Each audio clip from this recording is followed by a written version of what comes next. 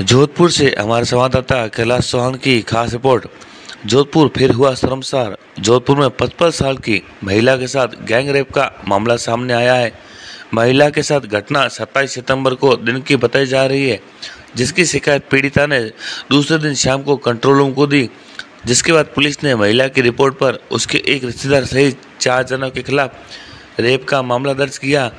ACP Anshu Jain ने बताया कि शनिवार शाम को पचपन साल की एक महिला ने अपने साथ गैंगरेप होने का मामला दर्ज करवाया।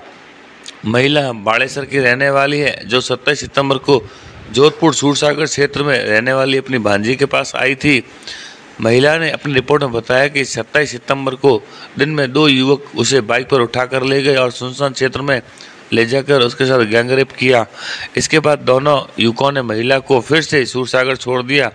इसी शाम को सूरसागर में रहने वाले उसके एक रिश्तेदार व उसके दोस्त ने उसके साथ शराब की पार्टी की और साथ में खाना खाने के बाद उसके साथ गैंगरेप किया। पुलिस ने पीड़िता की रिपोर्ट पर चार लोगों के खिलाफ मामला दर्ज कर लिया है और पीड़िता का मेडिकल करवाया गया है। पे सूचना आई। कि व्रत प्रताप नगर में कहीं पर झगड़ा हुआ है, जिस पे थाना हल्का जो है, उसके अधिकारी जो रात को थे, वो वहाँ पर गए।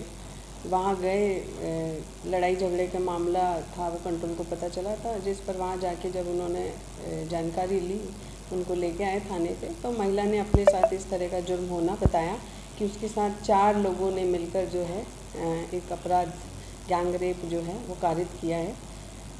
जिस पर हमने संज्ञान लेकर इसमें एफआईआर दर्ज कर ली है और इसमें जो है अनुसंधान अभी आगे का जारी है। महिला का मेडिकल महिला को मेडिकल के लिए भेज दिया गया और आगे का अनुसंधान अभी किया जा रहा है। मैम ये बताया जा रहा है कहाँ के रहने वाले ये जोधपुर नहीं नहीं आठ तो नहीं थे चार का ही बताया गया था महिला के द्वारा। चार ही लोग हैं जिन्होंने उसके साथ ये दुष्कर्म जैसी घटना कारित करी है। और ये महिला कहाँ की थी मैम? महिला जो है बालेसर की थी। बालेसर में कोई बस्तुआ करके कोई जगह है? महिला वहाँ की है और अपने यहाँ पर किसी परिचित के यहाँ पर आई थी परसों? और मैम ये भी बताया जा रहा है कोई शराब पार्टी हुई थी? ऐसा महिला ने बताया है कि